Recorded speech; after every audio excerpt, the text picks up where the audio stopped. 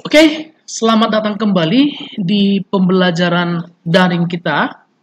Nah, di video pembelajaran kali ini kita akan membahas kelanjutan dari sebuah fungsi yang sebelumnya atau pada video sebelumnya sudah kita bahas, yaitu fungsi logika if. Namun dalam kasus ini kita akan menggunakan sebuah fungsi logika if dan digabung dengan fungsi yang lain. Kenapa seperti itu dan konsepnya e, bagaimana? Kita akan bahas dalam video hari ini. Nah, di dalam video ini kita sudah sediakan di dalam e, file Excel kita, kita sudah sediakan sebuah tabel di mana di dalam tabel tersebut ada tiga kolom yang harus kita isi, yaitu jenis kelamin. Di sini kita ganti deh ya, jangan jenis kelamin, kita buat aja gender. Nah, yang pertama adalah kolom gender, lalu nama paket, lalu biaya pendidikan. Nah, ketiga kolom ini kita akan isi satu persatu. Yang pertama adalah gender. Untuk mengisi gender itu di mana atau bagaimana? Untuk mengisi gender, kode yang harus kita uji ada tetap di dalam nomor peserta. Namun, bukan semua nomor peserta yang menjadi kode oleh gender, tapi hanya nomor peserta yang terletak di tengah-tengah ini atau di posisi 3, karakter 3 dari kanan. L, P, L, L, P. Jadi kalau L itu adalah laki-laki, kalau P itu adalah perempuan. Nah, cara mengujinya bagaimana? Karena kita tidak bisa menguji semua, benar kan? Maka di sini kita bisa memanfaatkan fungsi if dengan salah satu fungsi yang namanya adalah fungsi string atau fungsi teks. Mengambil karakter. Oke? Okay? Kita mulai. Yang pertama, sama dengan if, buka kurung. Oke, okay? logical test. Logical test itu adalah kondisi yang mau diuji. Apa kondisi yang mau diuji? Kondisi yang mau diuji adalah jika karakter yang di tengah dari nomor peserta itu adalah L. Nah, itulah algoritmanya. Jadi kalau kita gunakan dalam bahasa algoritmanya berarti jika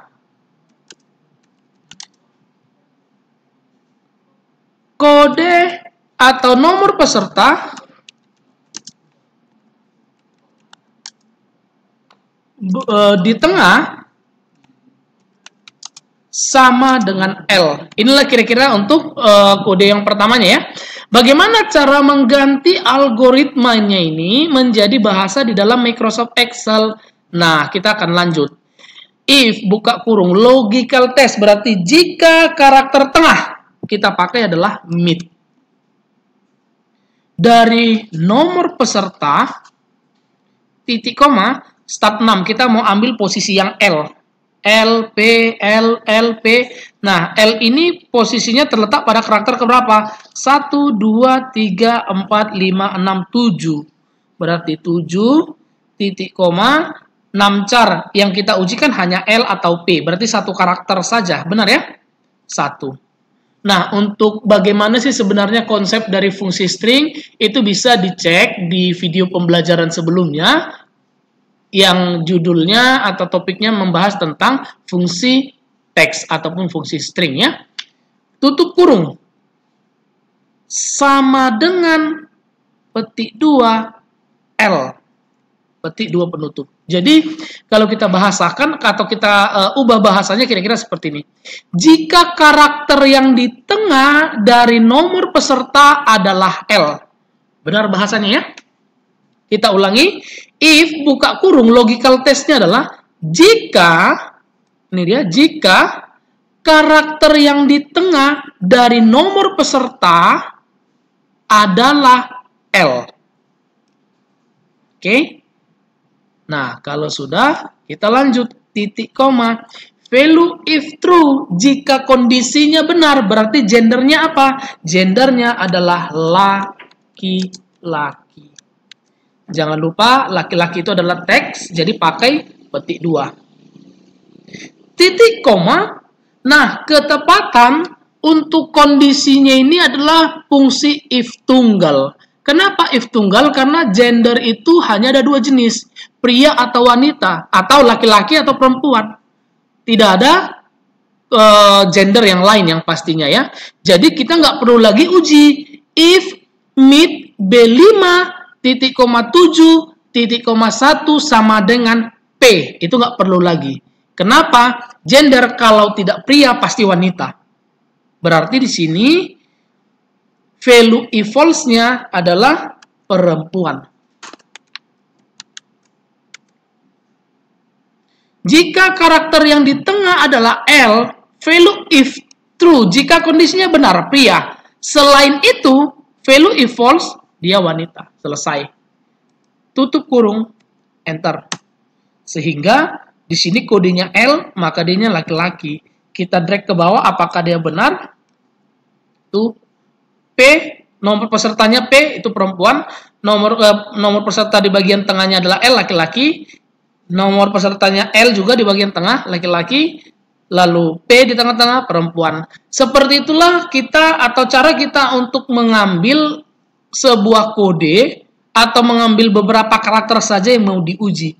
Kita harus gabungkan dengan fungsi yang lain. Karena memang sesungguhnya setiap kode-kode yang ada itu biasanya digabung seperti ini karena masing-masing pasti punya tanda, benar ya? Apakah tahunnya garis miring, nomor nomor peserta, garis miring, kode e, perusahaan dan lain sebagainya kira-kira seperti itu. Biasanya satu nomor ya, satu bagian saja. Oke, kita lanjut kembali nama paket. kita lanjut. Nama paket diambil dari kode yang di tengah. Di mana jika ini perhatikan juga ada di sini sudah kita buat. Di mana jika kode yang di tengah adalah 301 berarti nama paketnya Microsoft Windows. Namun jika kode yang di tengah ini adalah 302, itu adalah Word. Lalu jika kodenya 303 yang di bagian tengah ini, itu adalah Microsoft Excel. Nah, dalam hal ini berarti kita menggunakan fungsi if digabung dengan fungsi text kembali. Karena tidak semua karakter mau diuji. Hanya di bagian tengah saja. Oke? Nah, bagaimana caranya? kita mulai. Ini adalah if majemuk ya, ada tiga kondisi. Nah, kalau ada tiga kondisi, berarti kita mengerti if ada dua kali. Kondisi yang terakhir, ini nanti sebagai value if false. Selain itu, kita mulai. Sama dengan if, buka kurung, logical test, kondisi yang diuji. Apa kondisi yang diuji? Tadi sudah kita katakan bahwa kondisi pertamanya adalah jika karakter tengahnya adalah 301. Maka if buka kurung logical testnya adalah mid karakter tengah yang diminta teks alamat sel dari nomor peserta titik koma start 6 start 6 itu berarti posisi karakter keberapa awalnya? 1 2 3 angka 3 terletak pada karakter ketiga. Titik koma 6 car jumlah karakter yang mau diuji 3 301 atau 302 atau 303 itu tiga karakter ya. Tutup kurung sama dengan di sini ingat kita pakai petik 2 301 petik 2 penutup. Nah kita akan bahas satu persatu. Yang pertama kenapa kita di sini menggunakan petik 2 padahal yang kita ujikan angka. Jawabannya adalah 301 itu berada di antara 00301 garis L garis 01. Ingat, di dalam video pembelajaran sebelumnya juga kita sudah bahas jika di dalam sebuah sel ada karakter yang terdiri dari angka dan huruf, itu dibaca sebagai huruf, bukan angka. Ingat ya, bukan dia bukan dibaca sebagai huruf, tapi dia dibaca sebagai, eh maaf, dia bukan dibaca sebagai angka, tapi huruf. Contoh, Jalan Kasuari nomor 5. Angka 5 pada Jalan Kasuari itu dianggap sebagai teks. Itu yang harus diingat baik-baik. Jadi jika ada gabungan itu dianggap sebagai huruf ya. Jika gabungan angka dan huruf, tapi dia dibaca sebagai angka bagaimana? Itu juga sudah kita bahas, kita harus masuk ke dalam format sel. Oke? Okay? Kita lanjut.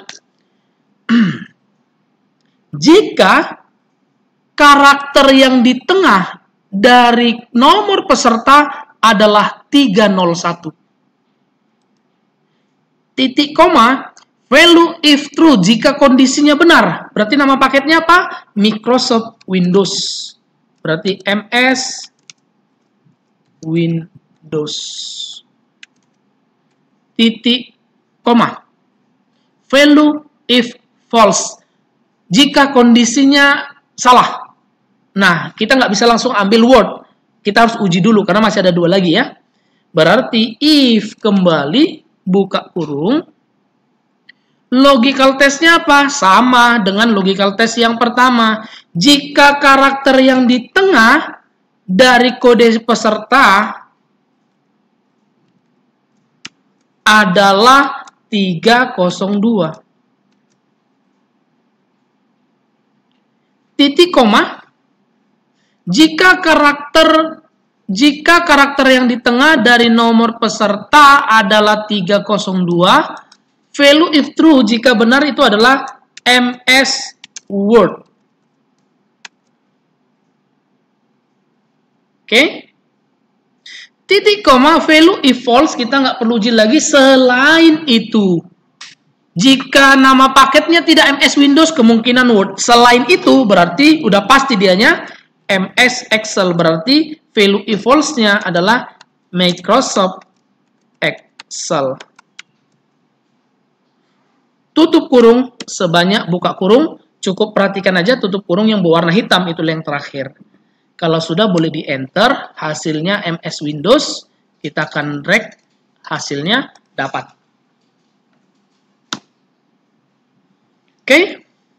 Nah, bagian yang terakhir adalah biaya pendidikan. Biaya pendidikan juga didapat dari kode tengah dalam nomor peserta, kode di bagian tengahnya. Jika 301, maka biaya pendidikan 350.000, jika 302, 500.000, jika 303, 650.000.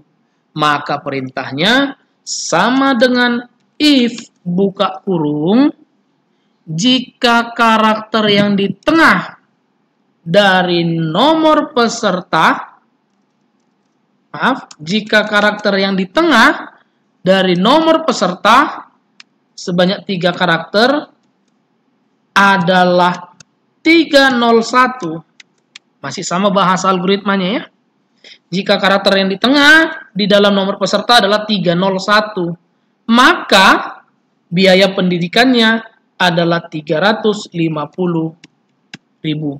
Ingat, jangan pakai petik 2 karena itu adalah angka murni. Titik koma, value if false. Selain itu, jika karakter yang di tengah dari nomor peserta sebanyak tiga karakter itu adalah 302. titik koma value if true jika kondisinya benar biaya pendidikannya adalah 500 ribu